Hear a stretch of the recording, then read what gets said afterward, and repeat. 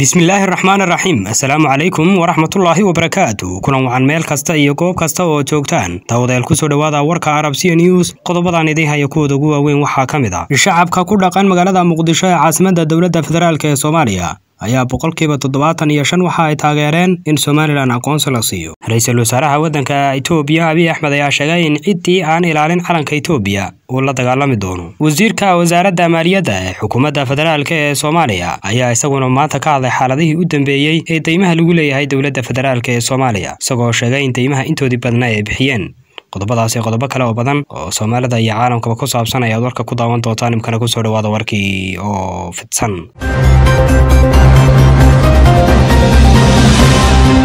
Shacabka ku dhaqan magaalada muqdisho ayaa ka hadlay aqoonsi la siinayo jamhuuriyadda somalilan waxaana intooda badani soo dhoweeyeen aqoonsiga la siinayo somalilan iyagoo sidoo kalena ku baaqay inay weliba xukuumadda soomaaliyana faraha ka qaado iyagoo arrimahaasi ka hadlayana waxay idhahdeen ma sheegi karo laakiin in caalamku dee caalamka inay ka heli kartaa baan aaminsanahayba sida ingiriiska iyo maaragtay dee dowladaha kale madaxda ah ee ee caalamka inay ka heli kartaan aaminsanahay.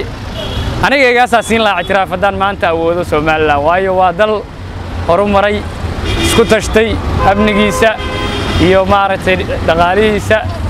Aduu dhinac walba oo laga hadlo waa dal tallaabsaday waaye.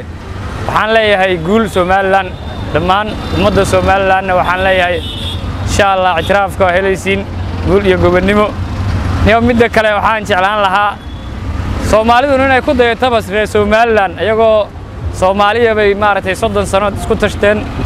Ay maaragtay horumarkaas iyo maaragtay isku duubnidaas ay sameeyeen.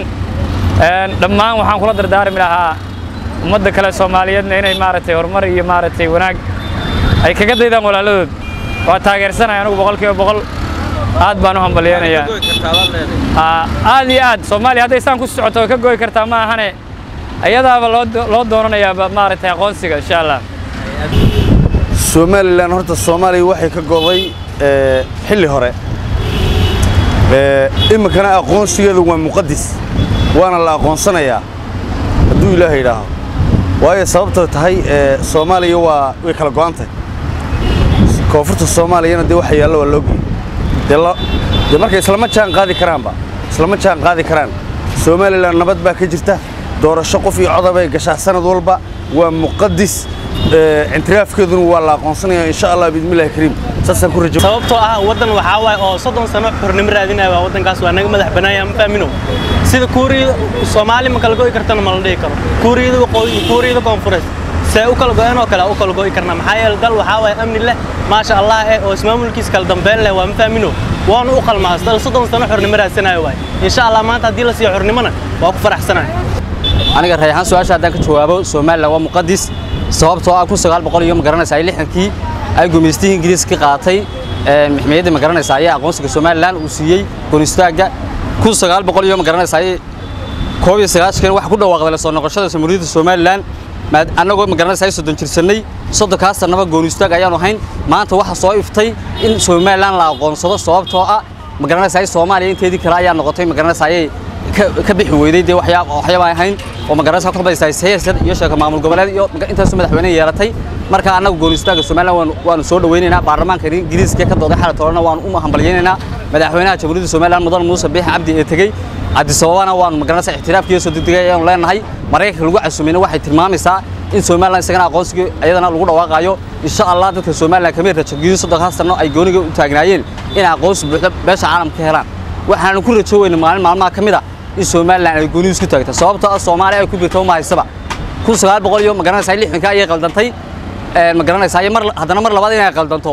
Waa ma garanaysaa waxaan dhici karin weeye waan soo dhaweynaynaa somalilan goyitaankeeda waayo sababtoo ah meel aan ku birno ma garanaynaba.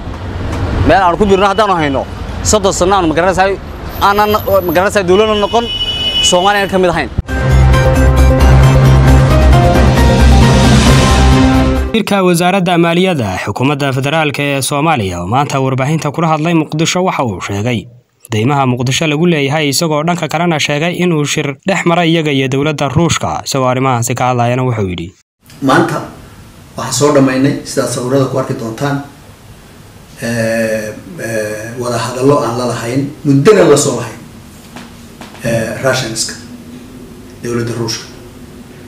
Deymihii laynagu lahaa sidaan hore idinku sheegay ruushku waa ka mid.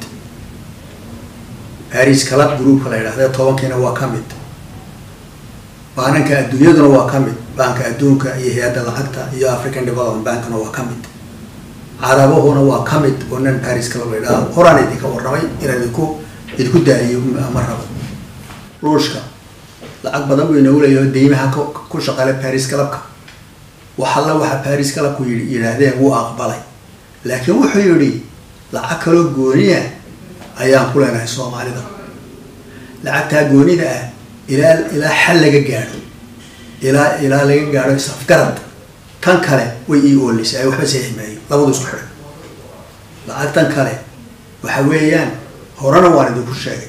Haddana aan idinku celiyo. Dalkani waa kiiniye inaad ogaataan le wayaani waxa lacagtaasi tahay lacag yaroo shan milyana oo koob iyo lixdankii central bankeenii la dhigay.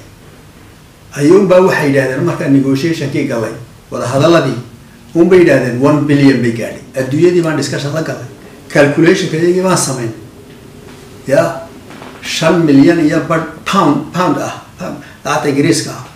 Inay sagaal mil sagaal boqol oo milyan gaadho dee wax macquula maaha annaga calculationka iyagiina mas ma ma yeelayo adduunka kalena ma yeelayo lacagtaasi waxay isku soo ururtay toddoba milyan iyo badh dollar. Intaan ka dhaadhicinaynay inay lacagtu intaana tahay aanay ka badnaanayn baa muddo naga qaadatay. Hadda toddobadii iyo shantii toddoba milyan iyo shantii boqol ee milyan. Ayaa layna sideen bixina maanta waxay nagu idhahdeen waxaad bixinaysaan maanta marka laga bilaabo sanad soo sadka ku xiga ayaad ku bixinaysaan. Haddii kale interest badan badan badaysa idin saarmaya. Now toddoba milyan iyo shan boqol saddex sano waan ku bixin karnaa. Laakiin haddana waxaan eegaynaa sida inaga inoogu wanaagsan ayaan haddana iyaan eegaynaa. Waxaan ku nidhi aan isku soo noqono waxaan doonaynaa i m f ta discussion la galo world banka la galo baris clubka la galo sida inaga inoogu khafiifsan inoogu khafiifsan ayaan doonaynaa inaan ma garanaysaa ina inay wax inooga baxaan. Ee aan dhibaato weyn inoogu hayn. Leanna dhibaatada imanaysa waxa weya coronavirus iyo waxyaalihii dakhligeennuna aada uma fara badna marka waxaan doonaynaa inaan markaa negotiation la galo madaxweynaha soomaaliya mudane maxamed cabdilaahi farmaajo ayaa maanta ka guddoomay warqadaha aqoonsiga danjirnimo ee safiirka cusub ee boqortooyada sacuudiga mudane maxamed bin maxamed al mawlad danjiraha ayaa sheegay in dadaal ay ku bixin doonaan xidhiirka diblomaasiyadeed ee labada dal isagoo shacabka iyo dowladda soomaaliya uga mahad celiyey soo dhoweynta diiran ee loogu qaabilay. Munaasabadu madaxweynuhu ka guddoomay warqadaha aqoonsiga safiirnimo danjire axmed bin maxamed ayaa waxaa goobjoog ka ahaa wasiirka wasaaradda arrimaha dibadda iyo iskaashiga caalamiga cabdisaciid muuse cali. Agaasimaha guud ee madaxtooyada qaranka ee muqdisho mudane maxamed cabdulaahi ciise iyo sidoo kale agaasimaha arrimaha carabta iyo wasaaradda arrimaha dibadda iyo iskaashiga caalamiga mustafa aadam dagaal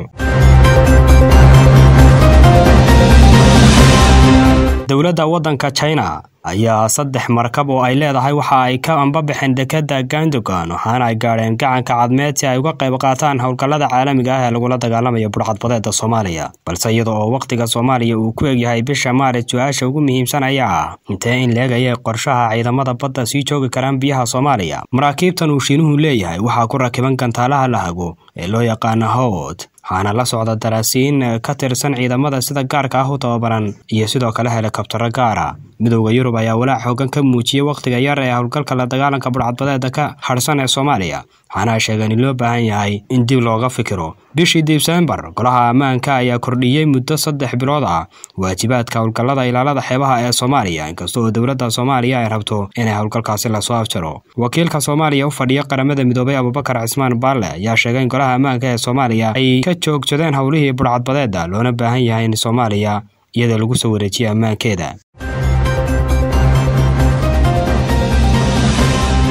arrimaha dibadda ee maraykanka antony blinken ayaa arbacadii u safray yurub iyadoo ay sii kordhaysa cabsida laga qabo in ruushka uu duulaan ku qaado ukrain master blinken ayaa magaalada kelvin kula kulmi doona madaxweynaha madaxweynaha waddankaasi valadimir zelenski kahor intaanu la kulmin dhigiisa britain faransiiska iyo weliba jarmalka. Jimcaha waxa uu sidoo kale genefa kula kulmi doona wasiirka arrimaha dibadda waddanka ruuska zerge levron ruushka ayaa marar badan waxa uu beeniyey inuu qorsheynayo inuu weerar ku qaado waddanka ay jaarka yihiin ukrain si kastaba ha ahaatee saraakiisha sarsare oo maraykana ayaa sheegay in moscow ay qaadi rabto duulaan. Xogayaha warfaafinta aqalka cad ee jan basaki ayaa saxaafadda u sheegtay in tobannaan kun oo askari oo ruushka ka dhisayo meelow dhow xadka uu la wadaaga ukrain taasoo abuurtay xaalad halis ah oo laga cabsi qaba dagaal balse wasiirka difaaca ukrain oliske resinkof ayaa ku booriyey in dowladaha reer galbeedku inay cunaqabatayn deg dega ku soo rogaan moscow. Isagoo ka hadlayay barnaamijka hard tolk ee b b c ayuu ka digay in duulaanka ruushku ku qaaday dalkaasi uu horseedi karo dhiig daata iyo weliba qararaaso qoto dheer islamarkaasina ku soo wajahan waddanka yurub